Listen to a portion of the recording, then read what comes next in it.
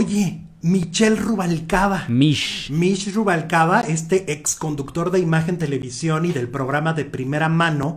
¿Tú recuerdas que el año pasado, cuando lo corrieron de, del programa de espectáculos, pues dijeron que porque no llenaba como el, el- el perfil, no era lo que ya, ya no les gustaba. Y él dijo que él era el consentido del público y que Gustavo tenía eh, envidia y que por eso lo corrieron, ¿no? Ajá, y que había pedido su cabeza. Sí. Eso fue lo que dijo. Y yo lo que sí les comenté es que yo veía a, a Michelle muy cercano a un ser maligno ahí en el Heraldo.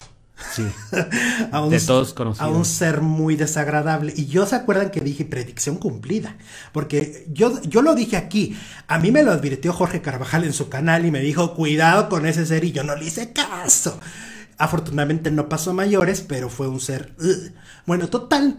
De que yo dije, bueno, pues así como Jorge me lo advirtió a mí, pues yo le voy a advertir hoy a Michelle, ¿no?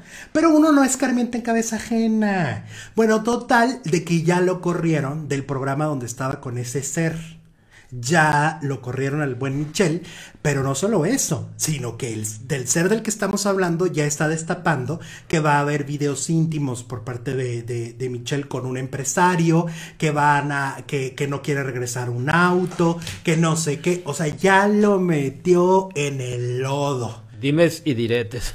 como ese personaje es. Entonces, pues mira, yo creo que ese personaje va a terminar tan solo en su casa.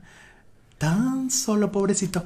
Bueno, total, de que a Michelle Bye del programa de la mañana del Heraldo, eh, lo corrieron, él lo niega, ya habló con TV Notas este fin de semana y dijo que no lo corrieron. Pero a ver, a Mitch también le da, por el principio, ser como políticamente correcto y luego aventar las pedradas ya más adelante. A ver qué dicen unas dos semanas. Otra predicción. Como ven, está fuerte la historia, ¿no? Predicción cumplida, Alex. Dice Víctor Guerrero.